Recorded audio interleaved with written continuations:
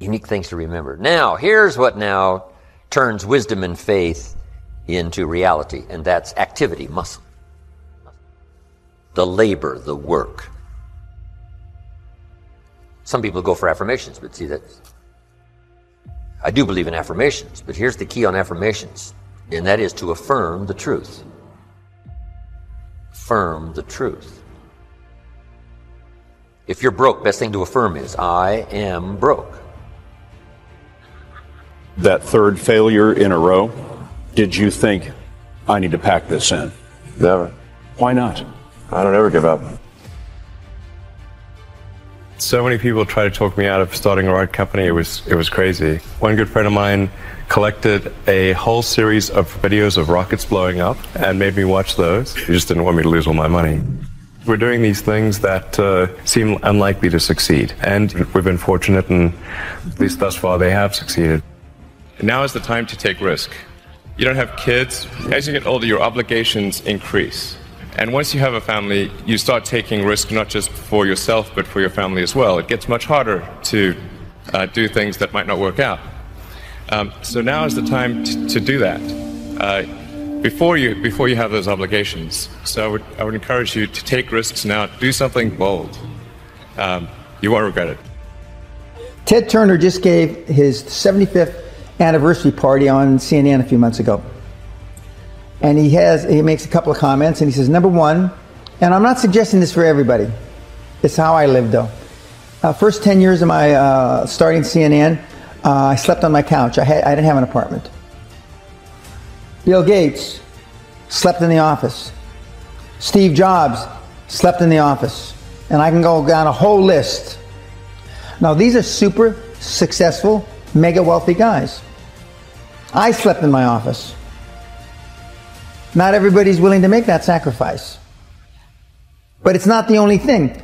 But even if you don't sleep in your office, if you want to send your kids to a better school, if you want to be able to take care of your mother when she gets dementia, if you want to, this all takes money.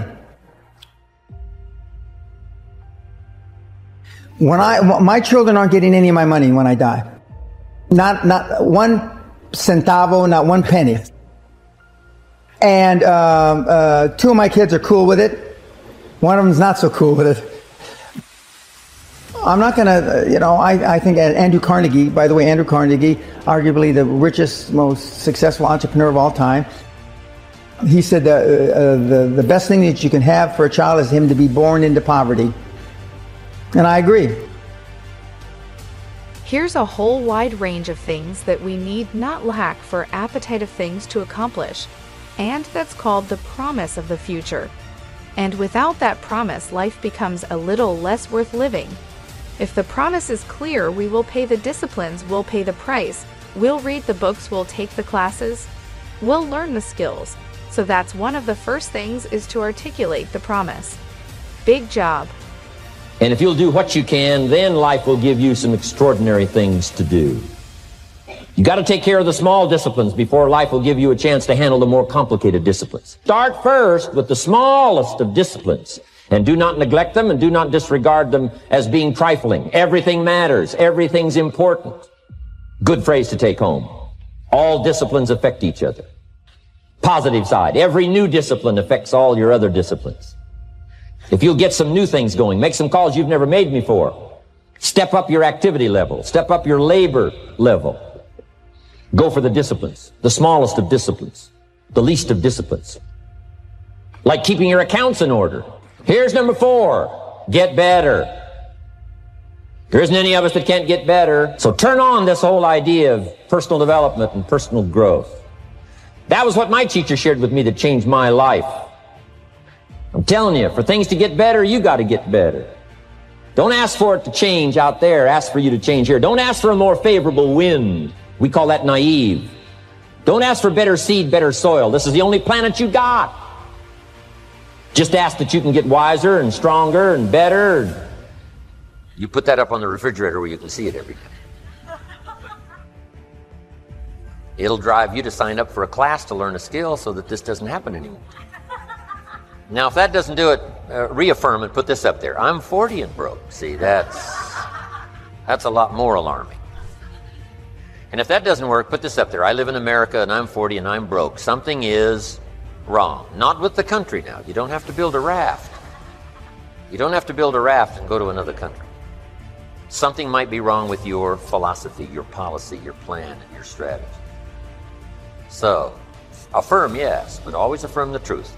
Here's what the old prophet said The truth will set you free. Now, here's the freedom of the truth. Number one, freedom of the truth to correct old errors in judgment.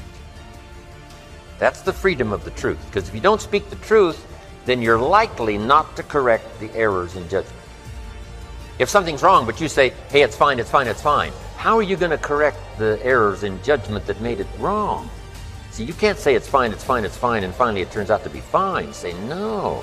The only way to go from wrong to fine is not by affirmation. The way to go from wrong to fine is to figure out where the errors in judgment were by speaking the truth. Something's wrong here, finding out what's wrong, making the changes. Now it can go from wrong to fine. Here's a good phrase affirmation without discipline is the beginning of delusion. Now, here's what else the truth does. First, it sets you free to correct old errors in judgment. Here's what else it does helps you to set up new, easy disciplines to turn wrong into right, to turn lack into prosperity, to turn skepticism into faith. How did you figure you were going to start a car company and be successful at it? Well, I, I didn't really think Tesla would be successful. I thought we would most likely fail. But I thought that we at least uh, could address the false perception that people had that an electric car had to be ugly and slow and and boring like a golf cart. But you say you didn't expect the company to be successful, then why try? If something's important enough, you should try, even if you, the probable outcome is failure. Or how do you think about making a decision when everyone tells you this is a crazy idea? Or where do you get the internal strength to do that? Well, first of all, I'd say I actually think I, I think I feel, feel fear quite strongly.